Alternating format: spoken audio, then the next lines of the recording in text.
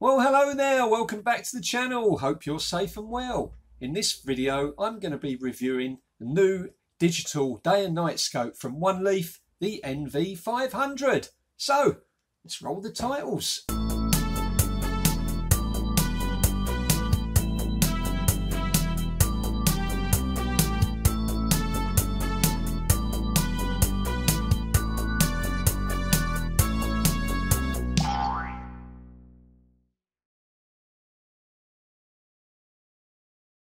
I was contacted very recently by the nice people at One Leaf to see if I'd be interested in reviewing their brand new product. And it turned up by courier today. It's the One Leaf NV500 Commander Day Digital Day Night Scope. Um, and as you can see from the picture on the box, it's a smaller footprint than the uh, uh, than the NV400, which is more like a traditional rifle scope shape. So up until about two weeks ago, I didn't even know this existed. This is brand new product off the press. So uh, I guess I'm very lucky to uh, be getting a preview copy to look at. So uh, let's open the box then and uh, have a look and see what we get, shall we? Well, if it's um, anything like the NV400, it'll be quite a good package. So, oh, let's have a look. Now we've got the uh, the manual. Put that to one side and open up uh, warranty, two year warranty certificate. Let's zoom that in. Right, okay, so here we are inside the box then. So we've got a, um, a Picatinny mount that obviously screws on to the bottom of the unit. Looking at that, that looks like that's zero MOA to me. And then we've got our um, infrared torch, uh, which has got a battery inside it and it comes with a charger. So stick that back there. We've got a nice soft bag for keeping it in. That to one side. Let's take the unit out. So here we've got the unit and you can see we've got the laser rangefinder on the side, which is a lot more compact than the laser rangefinder on the NV400 and it looks like there's also the red dot laser on there as well. But one thing that you'll notice is that this unit has removable lenses. Now this model comes with two uh, size lenses. This is the two times lens and uh, I'll have to refer back to the manual to see how far it goes up from two to what, what, what the maximum magnification is. Um, they also do a 1.5 times lens. This is a 50 mil um, diameter objective lens, and the 1.5 that has a 30 mil objective lens. So um, obviously you can have a wider field of view. Um, because this is a brand new product, they don't have um, a 1.5 uh, lens off the production line to send me at the moment. So they've said they'll send me one as soon as they become available. That's how new this product is. So clearly that lens attaches on there. And then we've got a, what we got here, sunshade, screw-in sunshade and an eye cup. And then we've got our tools and screws for the Picatinny mount. Set of O-rings, now the waterproof O-rings and um, a USB charging lead. So that's what you get in the box then. Let's have a quick go at assembling this then. So to put the lens on, you take the lens cap off. There's a little arrow on the side there. And you line up the pointy finger of that arrow. Push, push in and twist till it clicks. Now, these lenses are electronic lenses so that as soon as you put the lens on, the actual base unit knows what lens it's it is that you've got on there, whether it's the two times or it's the um, the one and a half times. Now um, you'll notice that with the two times we've got the cap on the front that folds flat back uh, for nighttime use and daylight use close that and then we've got the um, the sunshade that screws on the front, just like the NV400. Uh, with the smaller lens, the 1.5, that has got an adjustable iris. So you don't need to use that cap. You can adjust the iris to adjust how much light uh, comes into the unit and also controls, uh, you know, control the depth of field. So um, underneath then we've got six screw holes and we've got four screws to go in so you can uh, position this wherever you need to, the best position for uh, how you're going to mount it on your rifle. So um, what are we're going to do, uh, I'll just put a couple of screws in for now. Um, I'm going to be putting this on, going to be putting this on my Ghost, I guess, because uh, it's Picatinny mounts. So we'll just stick that on there for now. Uh, put these other screws in. Looks like you get a spare screw. They give you five screws as well. So I'm just going to put four in because I'm going to actually weigh it to see what it weighs with the mount and everything.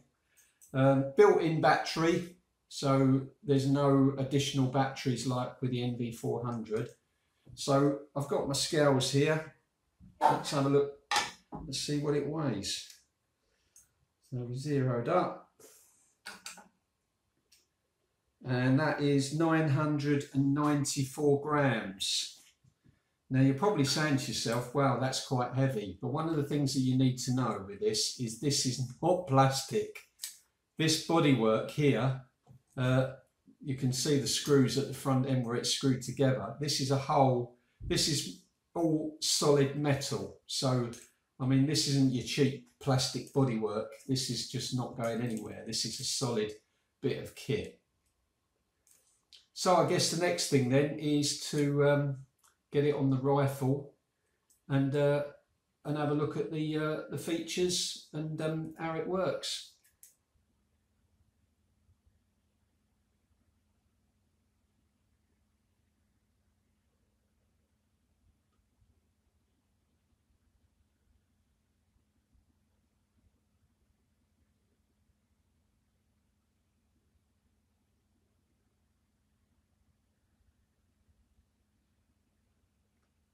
So here we're looking at the right hand side of the scope with the little cap removed and you can see there you can gain access to the micro SD card that comes with the unit.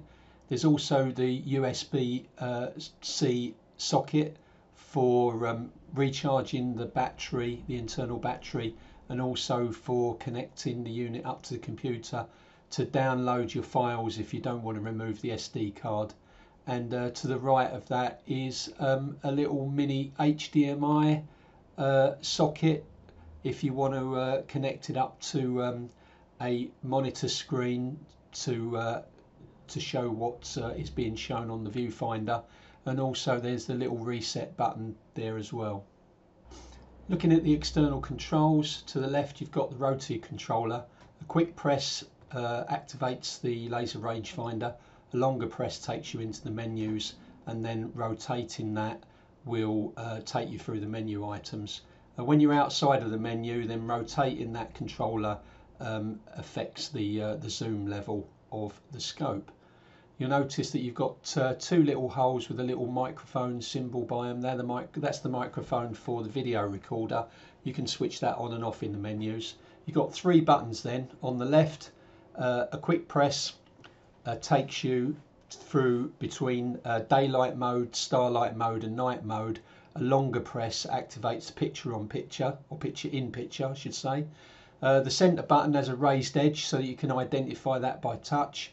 A quick press of that starts the video, a longer press will take a photograph and then to the right uh, you've got the uh, brightness level uh, a quick press of that will take you up through brightness levels 10% at a time. Once you get to 100% it goes back down to uh, 10% again um, and a longer press will take you into your uh, files so that you can view your videos and, um, and photos.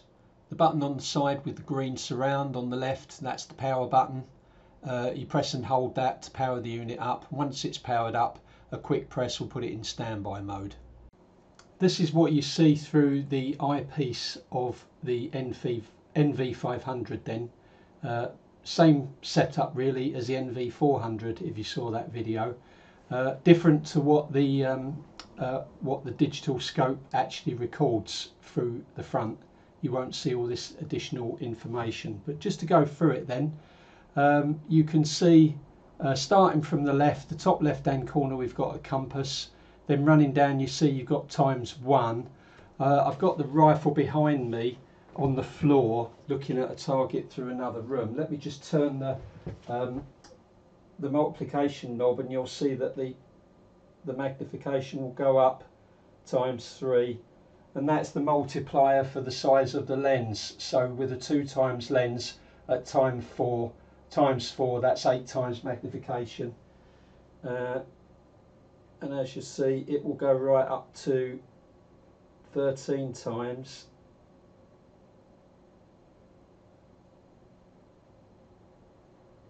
Get it go all the way up 12 times 13 times which is 26 times magnification.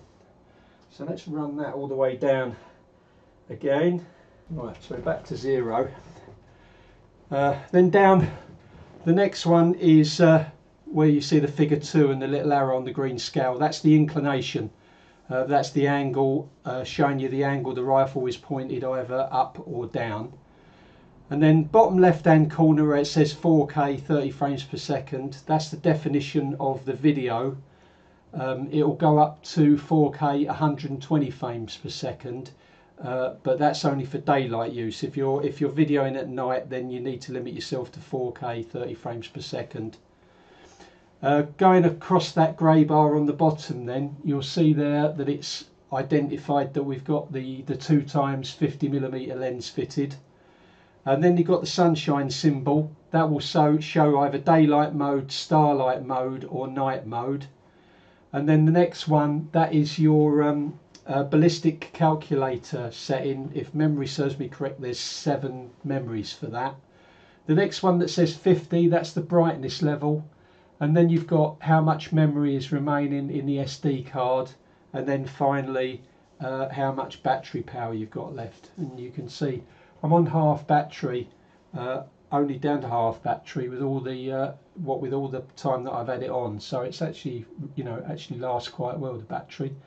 And then up on the right hand side, then uh, the zero with the green uh, the green scale and the little red arrow. Uh, that is the um, oh, forgotten the word. The cant, That's it that's the cant. So that is uh, whether you've twisted your rifle to, to either to the left or right. You see we're on zero here, so the rifle is perfectly upright.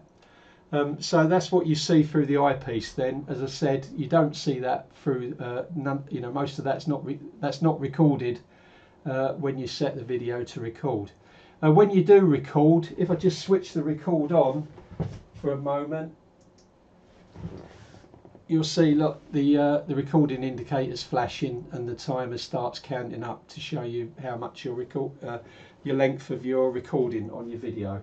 And then one click on the top to click it off again. Well just quickly something I missed is the laser rangefinder. If you uh, just press the click the uh, rotary controller on the top one click. There you'll see a little green box with a dot. That is where the um, laser rangefinder beam is.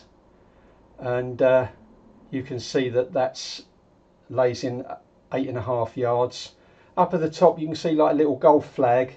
If that's red that means that the laser rangefinder is getting a strong return signal.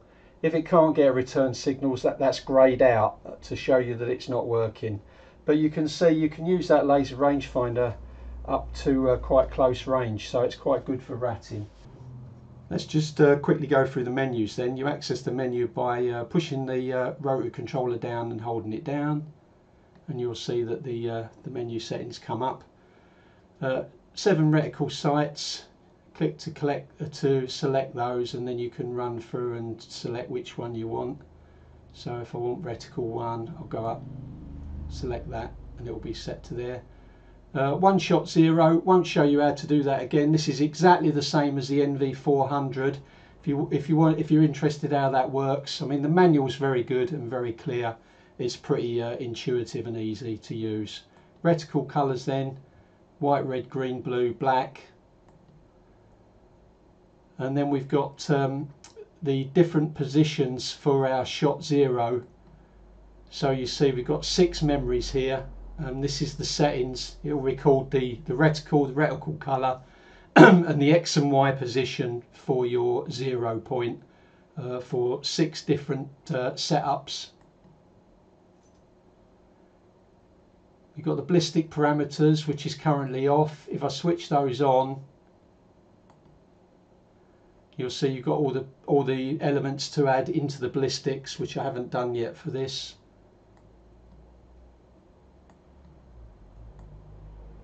Go back to the main menu. You can set the uh, set the reticle up to first focal plane or second focal plane. To be honest, on this second focal plane, uh, really isn't much use, so I'd recommend you just leave it on the first focal plane. The range marker align, that's the little green box with a dot in. You set that up and you can move that so that it lines up with the uh, um, with the laser rangefinder beam. Uh, then we've got the um, sensitivity, uh, ISO sensitivity, this camera control. Units, you can set yards or meters. You can set your screen aspect. 16.9 letterbox, 4.3 standard or small.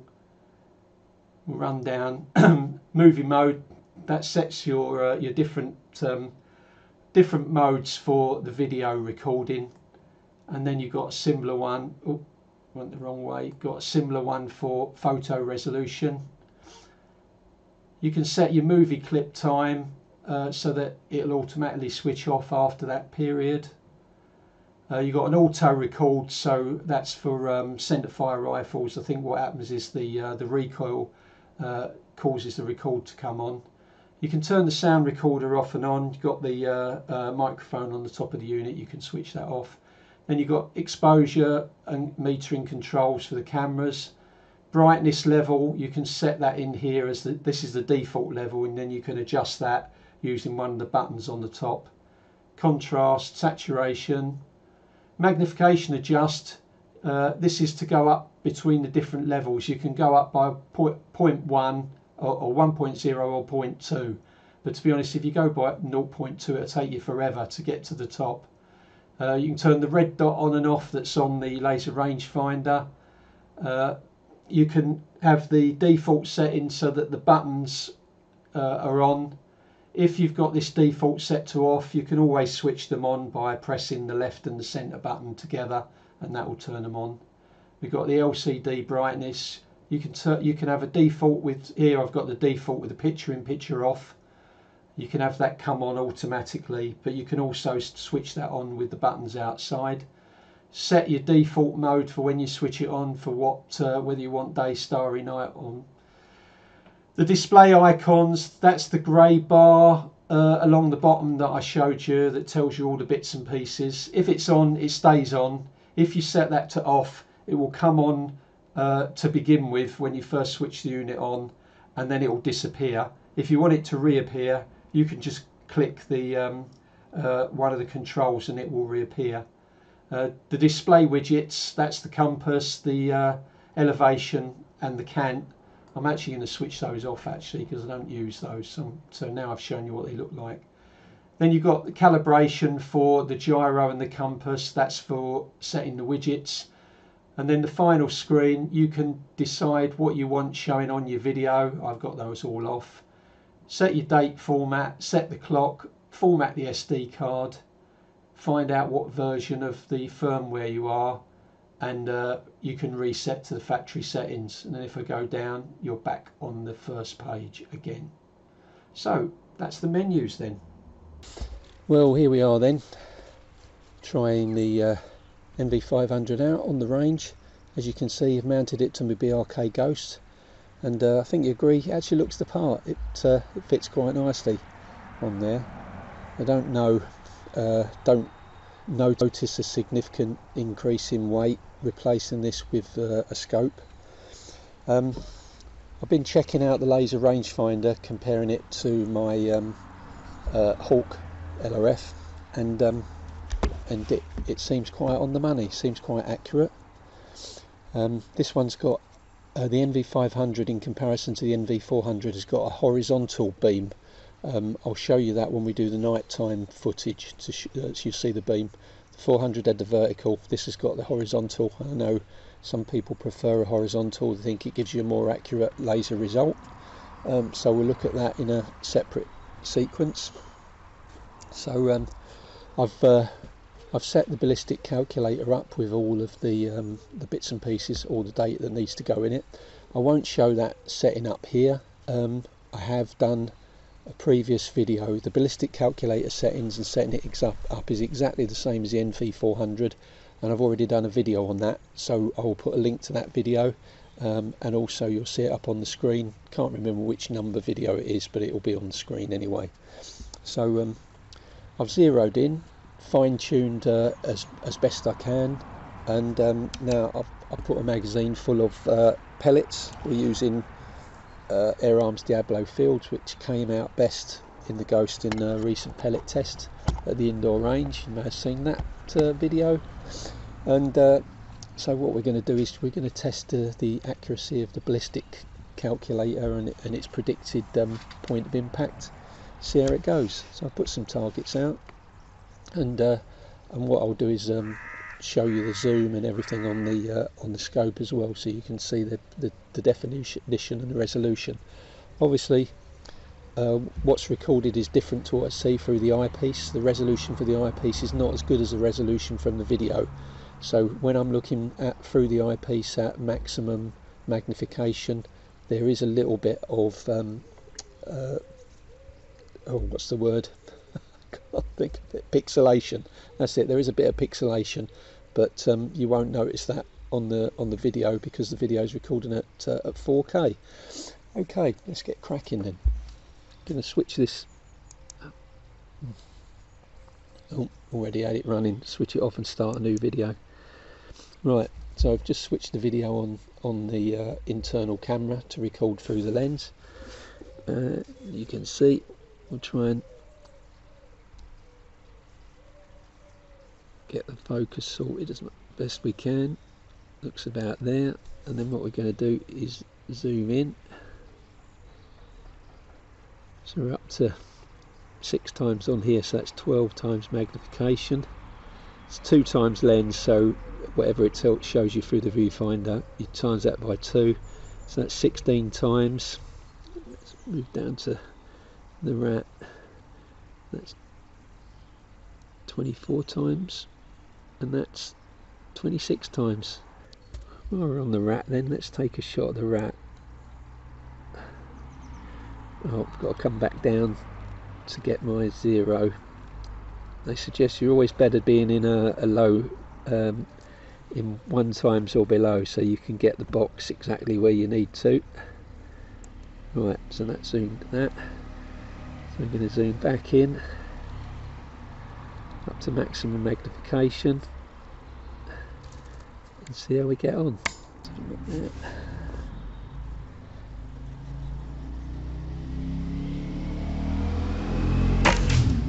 There we go. First shot, got that one. Right, let's come back down. Need to come back down to laser range this one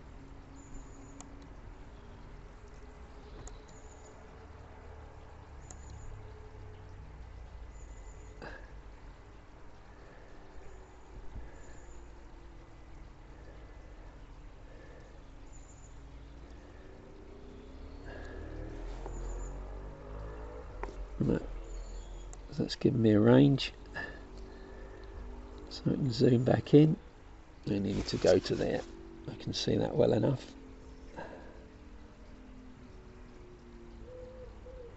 Oh.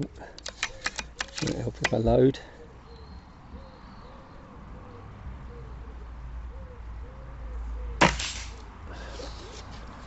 Okay.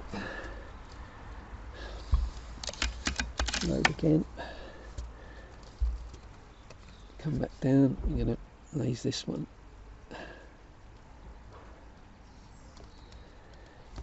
I'm having a bit of difficulty lasing today and getting them. Oh, there we go.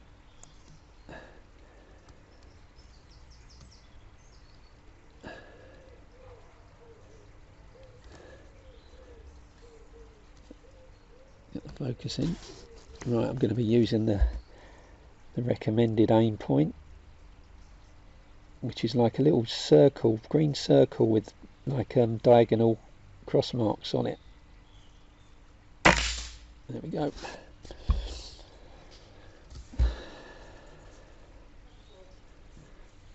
Zoom that back in. And there I go at these targets down the back there.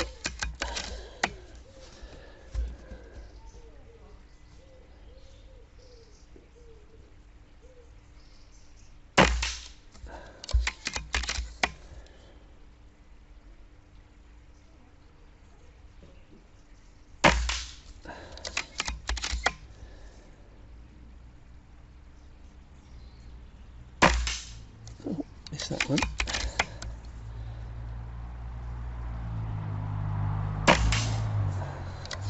Miss that one again.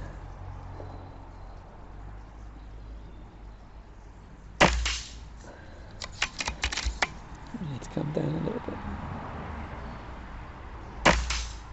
Oh, split that one.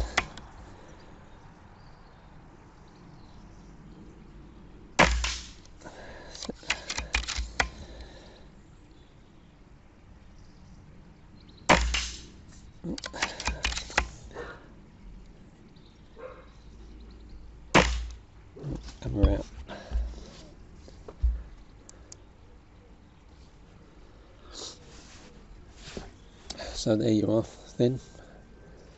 Daylight recording through uh, the NV500. Okay, let's check out um, how this scope looks then.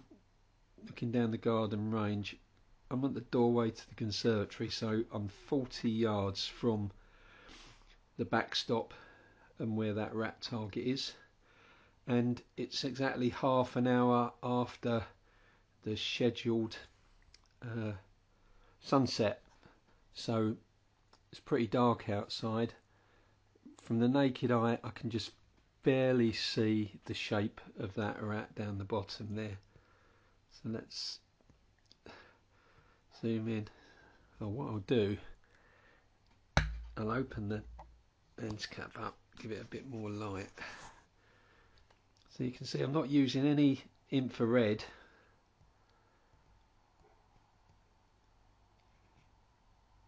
this is just daylight mode. Not using any infrared at all. So let's switch to night mode. Well we go to starlight mode first off. So it's telling me to open the lens cap. So you can see this starlight mode. We're not using any any external light. So if we focus that in a little bit more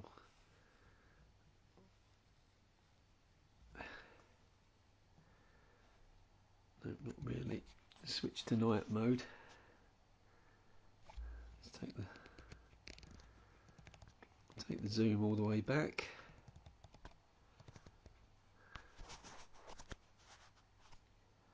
Oh, I think we've got a bat flying about in the garden there.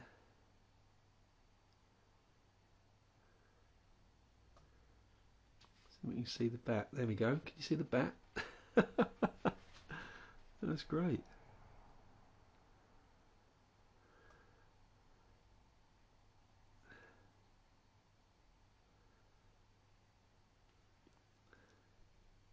There, the bat can you see that bat flying about? Awesome. This is just using the, the available light on the sensor. Yeah, the bat's still flying around there. Let's switch to night mode.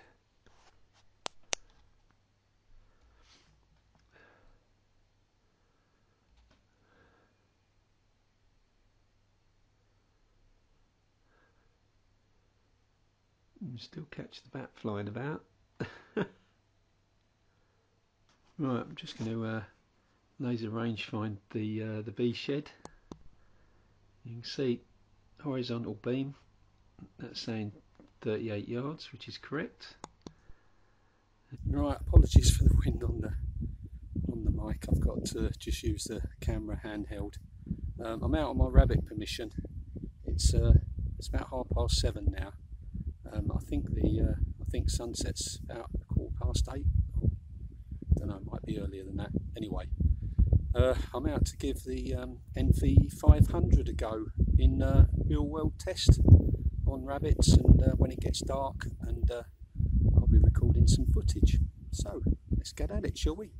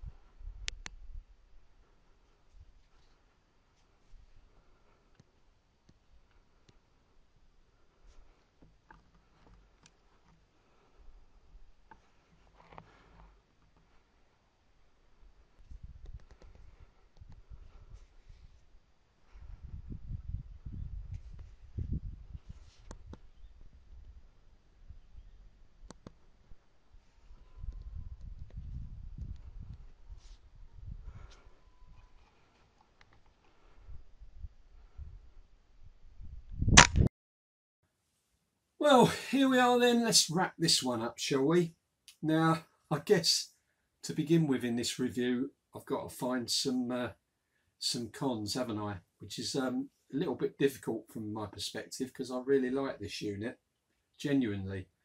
Uh, so let's go through the bits and pieces that some people might have an issue with. First off, when we weighed it right at the beginning, uh, it was weighing in at just under one kilograms. But bearing in mind, uh, this is with the largest uh, lens, the two times lens. I suspect, I don't know, I suspect that with the smaller lens, it'll weigh a little bit less. You've also got the LRF included in that weight. Um, and you've got your rechargeable batteries, which are not lightweight, that are uh, inside the unit as well. And not forgetting, it's not plastic, it's all solid metal construction. So at the end of the day, you're not really adding much to the weight of a normal scope. And um, most of these um, day-night digital scopes are fairly weighty anyway. So, I mean, I don't know in weight how this compares to the competition. Uh, but certainly switching this over from uh, uh, from a scope, uh, I didn't notice a significant difference in the weight. I mean, this is quite a heavy rifle anyway. I guess on a lighter rifle I might notice it, but it will, it's not really an issue for me. Um, one thing that I do think is a bit, little bit quirky that you've got to be careful with this side cap here. Now, usually these things come with sort of like rubber, uh, rubber plug-in caps that are have got a little band that holds them on. So when you pull the cap out, it stays there. This, the actual, you know, it's a metal cap that screws in. So um, and there's no there's nothing to keep this. And a couple of times I thought, oh, where did I put that? So I think that you've got to be careful that you know what you're doing with this and where and if you do take it off, put it down where you can find it. I, I suspect that this can easily be lost. Um, so yeah, so that's you know we're, we're talking about silly minor points here really. Um, okay, so last night on the rabbits, uh, at the last little knockings, uh, it got that dark that I had to use the IR torch. Now they put a weaver rail on top of the LRF and all the diagrams show putting the torch here.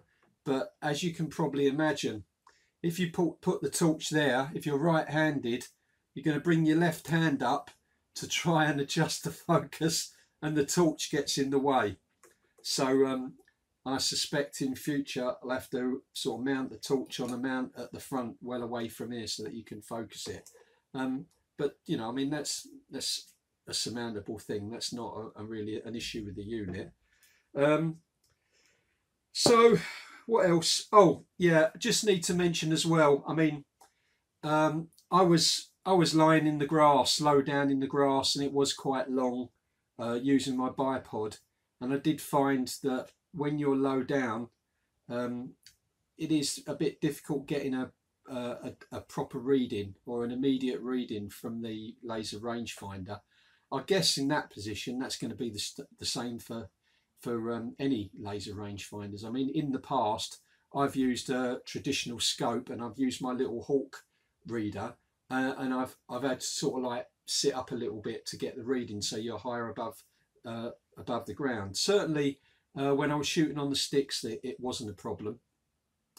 Um, on the same thing with the laser rangefinder as well. During daylight shooting, it does seem to have more of a problem coming up with a reading during daylight. Nighttime, no problem.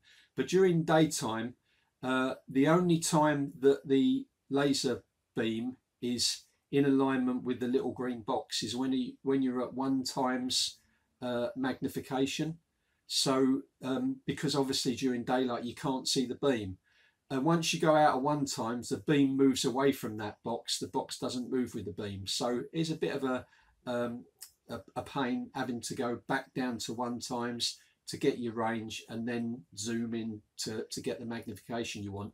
Uh, in the dark, obviously, it's not an issue because you can see the beam. So it doesn't matter what magnification you're in, as long as the beam's visible in your viewfinder, uh, you can line that up. So that's um, uh, that's the only that's the only sort of cons that I can really find uh, with this really. So uh, let's go on to the pros then. In this one, you know, compared to the uh, NV400, you had the internal batteries and then you had the additional battery on top. This has just got the internal batteries. But I was out last night for, I had this on for about three hours continuously. I was, you know, pressing the, uh, the side button to put it into standby mode uh, but at the end of the evening, I just checked, um, and on the little battery icon in the eyepiece, it had come down the first segment, which means that I only used 20% of the battery. So 20 20% of the battery, and I was out for three hours. That suggests that you know you're going to have enough battery life in there. Uh, if you don't, then you can unscrew this and you can run it off of a, um, a little battery pack uh, you know, buy one of those phone charger battery pack things and just plug that in through the USB socket uh, socket on the side there, uh, and you can power it from that as well. Um, so certainly battery life's not going to be an issue. That's good. Um, I need to mention the manual. You know, compared to some of the things that I've looked at recently, this manual is is very good. Uh, it's very clear in explaining everything. And to be honest, this unit, one of its advantages is it's super easy super intuitive to use. You know, you've got one controller, rotary controller that clicks to get in the up and down in the menus. You've only got three buttons on the top here, and um, it's not difficult to remember what those buttons do. The one at the front, the middle one's got a raised edge, so you always know you're on the center one and not the side buttons. And to be honest, you're probably only going to be using the center one uh, when you're out anyway. The other two are, you know, for setting up um, for like like long-term setup, not sort of intermittent settings that you're going to want to change uh, while you're out probably. Um, so, so you know, as I say, very, very, very easy to use. The menus, you can go through the menus and work the menus out really uh, without the manual. The only menu items I have difficulty with are the uh, are the camera ones. Uh, but if you if you're into cameras and, and videography and stuff, then you're going to understand those. But um, to be honest, I haven't changed any of those settings, uh, and you've seen the results that I got through the camera. They're not bad; they're passable. So you know, so you don't need to be a camera whiz to understand the uh, the ISO and the the um, the brightness and um, all the other camera settings that you've got in there. Uh, what else have we got? I've said minimal controls said this thing is solid, built like a rock. No, you know, it feels solid. No pl plastic, you know. Uh, okay, you can get say something that might be a bit smaller, might be a bit lighter, but then you're going to have plastic. You know, is that going to stand the test of time? Is that going to, uh, you know, be able to stand the rough and tumbles of being out uh, when you're hunting and stuff like that? Um, and then last but not least, the changeable lenses. Um, I mean, other manufacturers have had to bring out different versions for for you know different levels of magnification. With this one unit, instead of buying two, you buy one. You can buy this option that comes with the two lenses. So you've got the two times lens for when you want to do the, the longer distances. And if you're doing the close in work, you've got the uh, the 1.5 times lens uh, with the with the adjustable iris. And you know you don't have to worry about changing lenses. It recognises, as I've shown you through the eyepiece, uh, as soon as you plug it in, it will tell. It can tell uh, what lens it's got on it, and it will make the appropriate adjustments. So there we have it. Then the new um, OneLeaf commander NV500 Eagle, and um, yeah, I really like it. I think it's really easy to use. As you see, it took it straight out on the rabbits. Um, any new bit of kit make, takes you a bit of time to get used to. So yeah, I mean, over over another couple of uh, uh, trips out, I'll be on the ball with this a bit more, um, and it becomes less of an issue because I won't have to think about it. Um, but for now, yeah, highly recommend this. If you're interested in something like this or you've been looking to buy, then I highly recommend that you take a look at this model. Uh, go to the OneLeaf site and check out all their blurb on it there. And um, I don't think you'll be disappointed. So then that's it for this uh, video. Hope you found uh, you know something in there of interest. And um, that's all I've got to say on this one. Hopefully see you on the next video. But for now, from me, bye for now.